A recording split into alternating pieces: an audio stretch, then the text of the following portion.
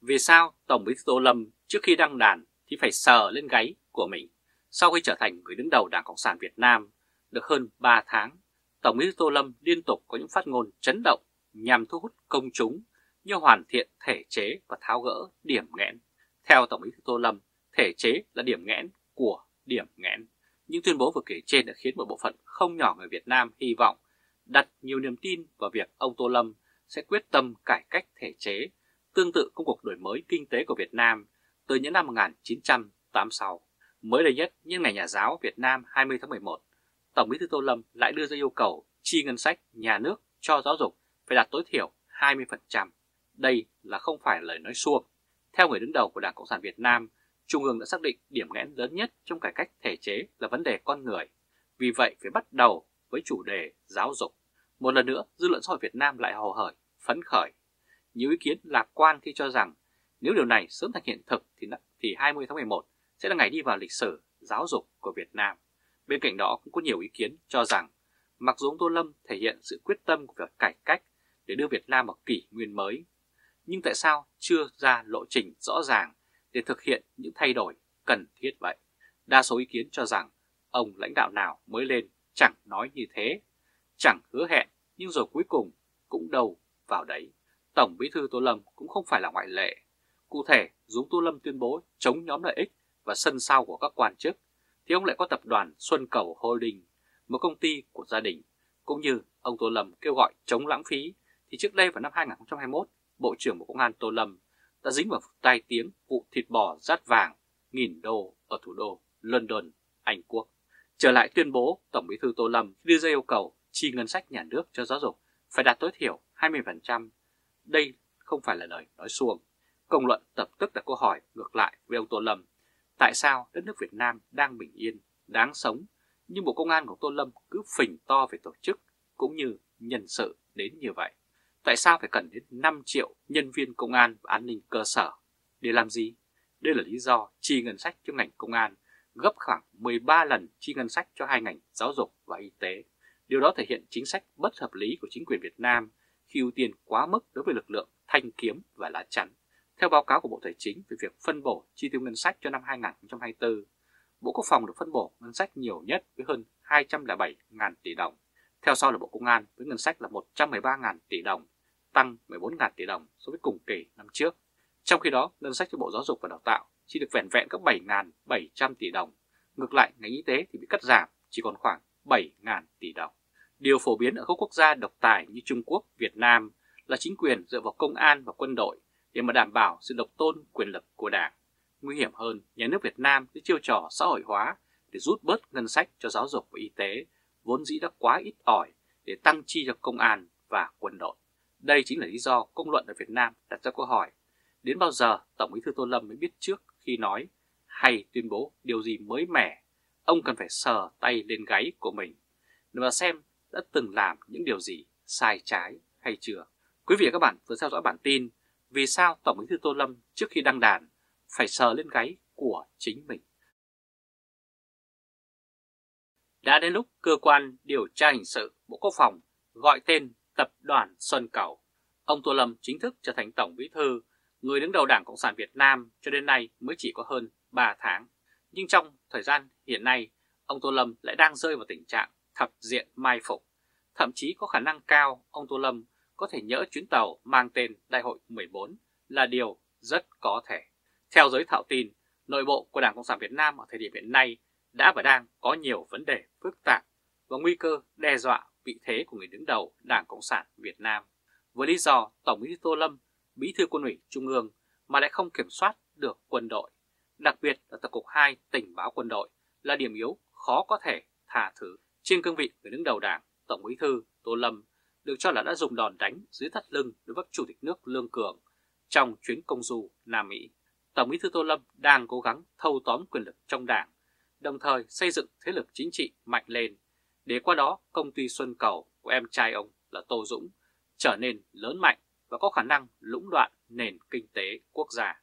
Đây là một trong những nguyên nhân dẫn đến việc sẽ không thu phục được nhân tâm, nhất là lực lượng hơn 5 triệu đảng viên của Đảng Cộng sản. Theo giới phân tích, sự cố ông Lương Cường cho chuyến thăm Nam Mỹ, việc ông Tô Lâm có thể trụ lại đến đại hội 14 hay không là điều cũng không hề dễ dàng. Trong khi đó, có nhiều biểu hiện cho thấy các tướng lĩnh tác chiến của Bộ Quốc phòng dưới sự chỉ huy của Đại tướng Phan Văn Giang đang có các biểu hiện thắt chặt sự đoàn kết với các tướng lĩnh thuộc lực lượng tuyên giáo của ông Chủ tịch nước Lương Cường. Đây là tín hiệu không tốt cho Tổng bí thư Tô Lâm, nhất là ông Lương Cường là một nhân vật thân Trung Quốc và được Bắc Kinh hậu thuẫn tối đa. Tập đoàn Xuân Cầu Holding của ông Tô Dũng, em trai ông Tô Lâm với giá trị tài sản lên đến nhiều tỷ đô la, là một công ty gia đình mà ông Tô Lâm được cho là người đứng đằng sau. Theo giới quan sát, kể từ khi còn là Bộ trưởng Bộ Công an, Đại tướng Tô Lâm đã chỉ đạo Bộ Công an tấn công liên tiếp vào các doanh nghiệp tư nhân hàng đầu Việt Nam như tập đoàn Vạn Thịnh Phát, tập đoàn Phúc Sơn, tập đoàn Thuận An, vân vân, không phải chỉ để hạ gục các đối thủ chính trị mà còn nhằm tạo ra điều kiện cho tập đoàn Xuân Cầu của đại gia đình ông Tô Dũng phát triển về lâu về dài. Đó là lý do ông Tô Lâm càng củng cố quyền lực thì sự phát triển của tập đoàn Xuân Cầu sẽ càng phình to. Trong khi đó, lãnh đạo các tỉnh, thành phố trên cả nước do lo sợ quyền uy của Tô Lâm nên phải luôn cúc cung phụng sự gia tộc này. Hồi tháng 5 năm 2024, khi ông Tô Lâm mạnh tay đánh vào tập đoàn Thuận An, khiến ông Vương Đình Huệ ngã ngựa giữa dòng phải rời cuộc chơi. Lúc đó tờ báo Quân đội Nhân dân, tiếng nói của Quân ủy Trung ương và Bộ Quốc phòng đã lên tiếng về các sai phạm của các doanh nghiệp tư nhân vi phạm trong việc liên kết làm ăn kinh tế với Bộ Quốc phòng. Quân đội khi đó đã có các biểu hiện sẵn sàng vào cuộc để lật hồ sơ sai phạm của tập đoàn Xuân Cầu Holding của đại gia Tô Dũng là người nhà của Tô Lâm. Tuy nhiên, không hiểu vì lý do gì, vụ án này đã bị xếp lại và từ đó đến nay, vụ việc xem xét điều tra tập đoàn Xuân Cầu đã bị khép lại mà không có sự giải thích từ Bộ Quốc phòng. Các nguồn thạo tin cho rằng khả năng cao cơ quan điều tra Bộ Quốc phòng sẽ xem xét giật lật lại hồ sơ liên quan đến tập đoàn Xuân Cầu Holding. Đây được cho là những từ huyệt chết người. Điều này có thể đẩy ông Tô Lâm vào tình trạng thân bại danh liệt. Chúng ta hãy cùng chờ xem. Quý vị và các bạn có theo dõi bản tin đã đến lúc cơ quan điều tra hình sự Bộ Quốc phòng gọi tên tập đoàn Xuân Cầu. Mối quan hệ giữa Tổng bí thư Tô Lâm và Chủ tịch nước Lương Cường xấu đến mức độ nào? Ảnh hưởng chính trị của cựu Thủ tướng Nguyễn Tân Dũng còn rất lớn với chính trường Việt Nam, cùng với bề dày kinh nghiệm gần 8 năm nằm gai nếm mật để lội nước ngược dòng và cuối cùng đã thành công. Đây là lý do trong bối cảnh Tổng bí thư Tô Lâm được cho là đã và đang trong tình trạng bế tắc và nguy ngập. Giới quan sát tin tưởng rằng dưới sự chỉ huy của nhạc trưởng Bà Dũng, ông Tô Lâm sẽ hóa giải được tình thế và dễ dàng vượt qua. Sự mâu thuẫn của Tổng bí thư Tô Lâm và Chủ tịch nước Lương Cường đã trở thành tâm điểm trong cuộc chiến quyền lực hiện nay mà nguồn gốc sâu xa được cho là do cố Tổng bí thư Nguyễn Phú Trọng, một lãnh đạo được cho là một có mối quan hệ rất thân thiết với Bắc Kinh. Việc ông Trọng đã ký kết tới 27 văn kiện bí mật về phía Trung Quốc trong các chuyến thăm cấp nhà nước đến Bắc Kinh vào các năm 2015 cho đến 2017 đã cho thấy điều đó. Ngoài ra, ông Trọng thường xuyên thăm Trung Quốc sau mỗi kỳ đại hội của Đảng được xem như một hình thức báo cáo kết quả với lãnh đạo Bắc Kinh.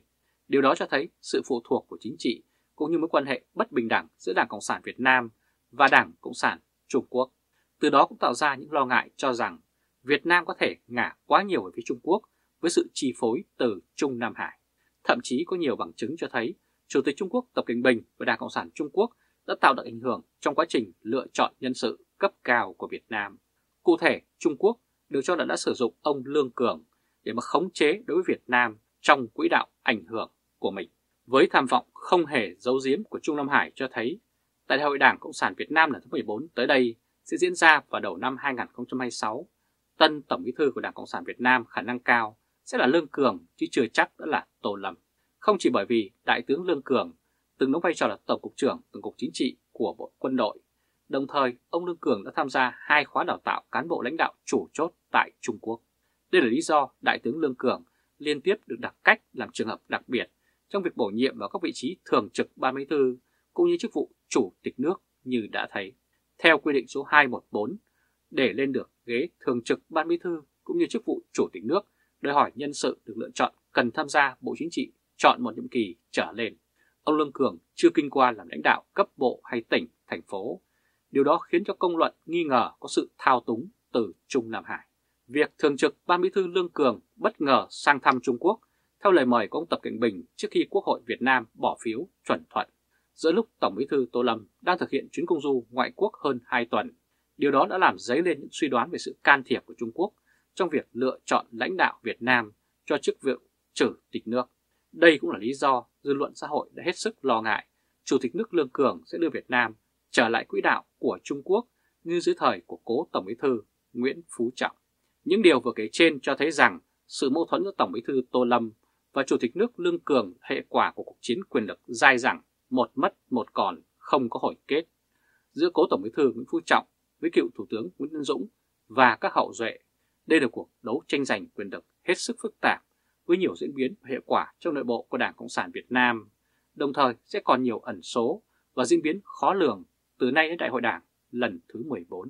Quý vị và các bạn có theo dõi bản tin mối quan hệ giữa Tổng Bí thư Tô Lâm và Chủ tịch nước Lương Cường xấu đến mức độ nào. Quý vị và các bạn hãy chia sẻ video này cho nhiều người biết và bấm nút theo dõi YouTube và Facebook của Thời báo .de để luôn được cập nhật những bản tin mới nhất, nhanh nhất và trung thực nhất. Từ Berlin, Cộng hòa Liên bang Đức chào các bạn và hẹn gặp lại các bạn ở bản tin lần tới. Trung Khoa Thời báo .de